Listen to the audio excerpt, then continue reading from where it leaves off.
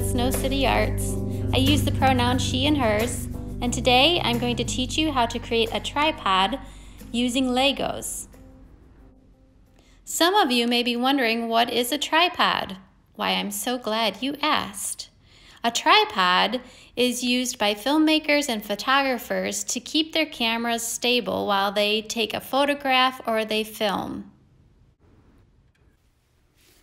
Before you get started, gather the materials you will need for this project. You will need one Lego flat base, at least 5 inches by 5 inches, 8 Lego standard sized blocks, these have eight prongs on top and three open holes in the bottom.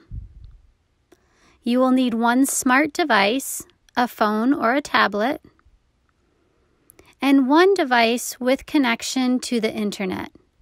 This can be the same phone or tablet from above, or it can be a TV. Let's first look at the history of how artists began to use tripods as art making tools. The structural concept of a tripod dates back to ancient Greece and ancient China. The most well known tripod structure is located in the Delphi Ruins Sanctuary. This is called Tholos. Sir Francis Ronalds invented the portable tripod in the late 1820s. This was first used in astronomy, land surveying, and laboratories. Goldbart Matthew is recognized as the inventor of the portable modern day camera tripod. He created this in 1850. This is when artists started using a tripod as an art making tool. By using a tripod, photographers, filmmakers, video artists, animators, and even YouTubers can achieve stable and sharp images. Let's start building. The first step is to take four of the standard size blocks and stack them one on top of the other until you have a vertical column of pieces or a vertical tower. Vertical means up and down. The second step is to take the remaining four standard sized Lego blocks and stack them one on top of the other until you have created a second vertical column or a vertical tower, up and down. You should have two freestanding towers at this point of four blocks each. Set these two columns aside.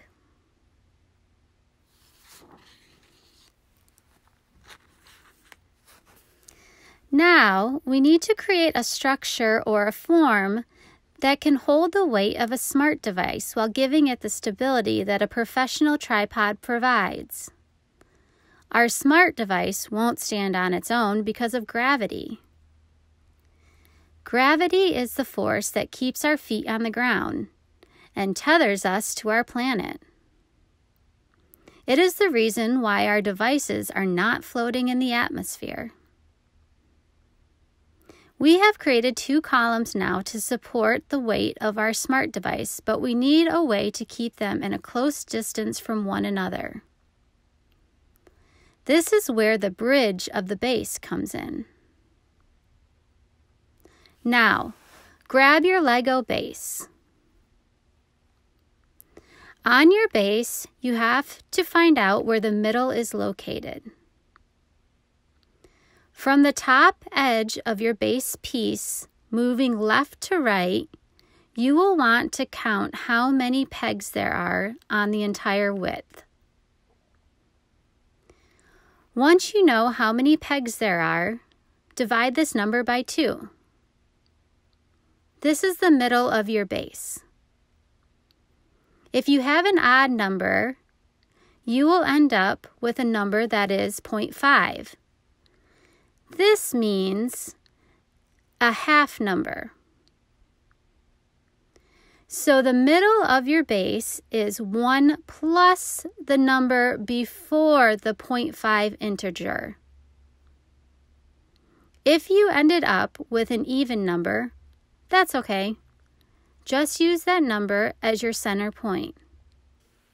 For example, if I count out how many pegs I have on my base, one, two, three, four, five, six, seven, eight, nine, ten, eleven, twelve, thirteen, fourteen, fifteen, sixteen. I have 16 pegs on my base. Now I need to figure out what the middle point is.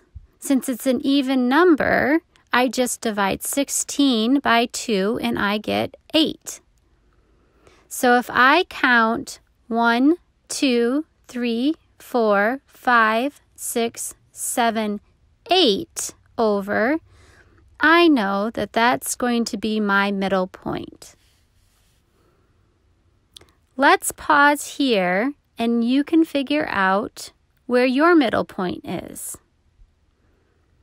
Pause this video and remember, count how many pegs run horizontal first, left to right, then divide this by 2.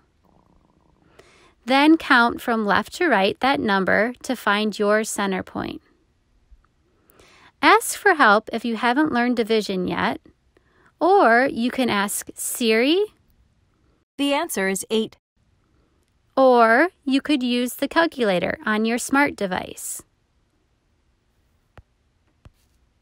All right, clap once if you're ready to move on. If not, it's okay. You can pause this video and rewind it to figure out your middle point.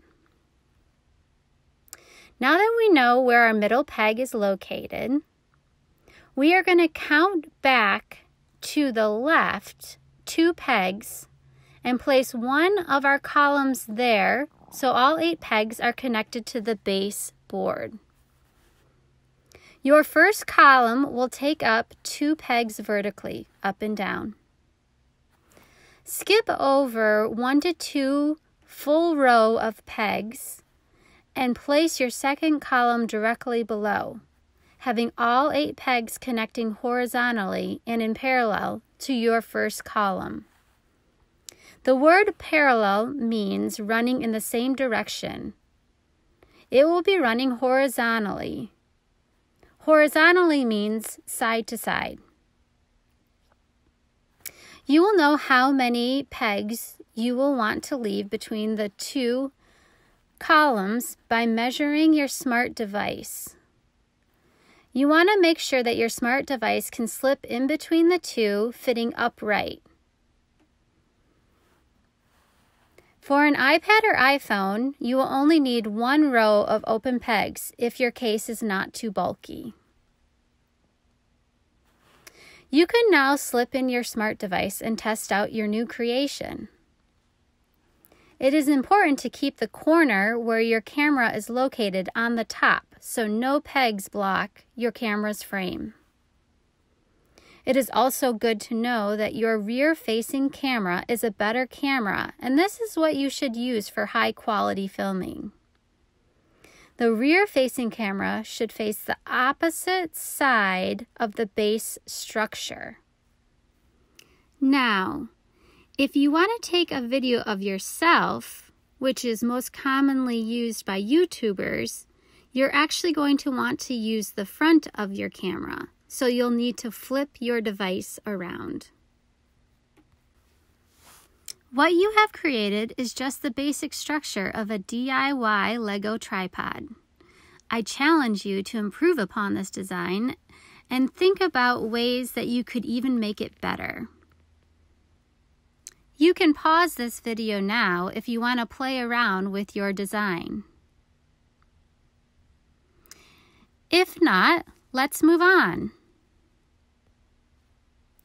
In this next part, I want to show you a few different filming techniques that you can do with your newly built tripod. First, let's look at a contemporary photographer's work that wouldn't have been possible without the use of a tripod. Artist Nikki Lee is a female Asian American photographer who documents the fluidity of group identities in the United States. She inserts herself into subcultures, playing the role of a member of that particular group. For example, she played the part of a skateboarder, having never skateboarded before, but she went to the park and hung out with skateboarders to learn about them before she took her self portrait.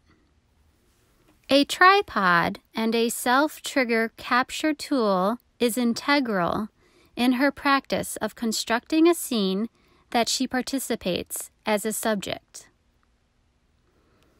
Now, place your smart device in your newly built tripod. Try setting up a scene of your own with what you have available to you. Maybe use a stuffed animal as a subject or ask another person to participate. Pause this video now to think about what kind of photograph you want to make. All right, are you ready? First, turn your smart device on. Next, select filmmaking mode. Find an area of your room that has the right lighting for your image capture. Do you want to create a dark, scary scene or a bright, cheery scene? Lighting is everything in photography and filmmaking. Think about angle.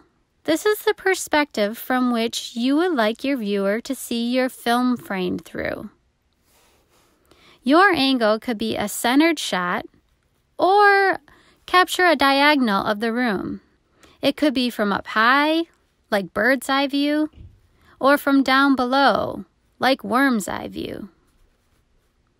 Choose your angle and place your tripod on a still surface there.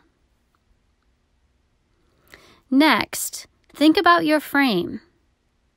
What do you want to see in your camera?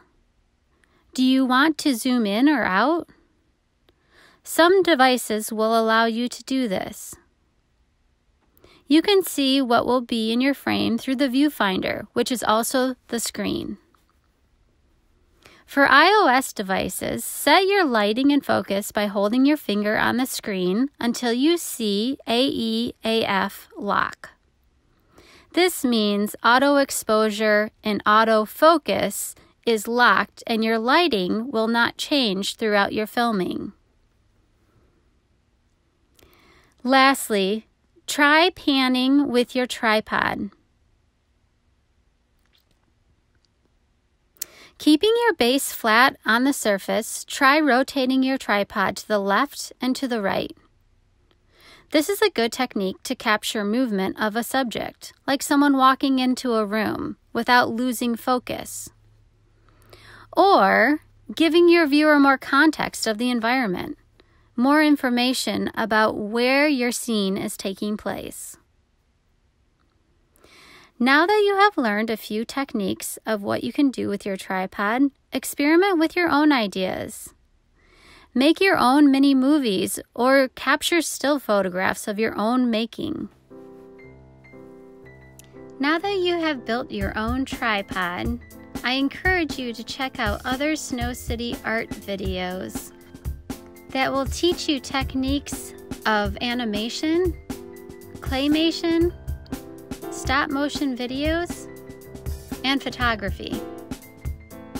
Good job today. Thanks for letting me stop by to make art with you today. Maybe I will see you again soon. Until then, keep creating.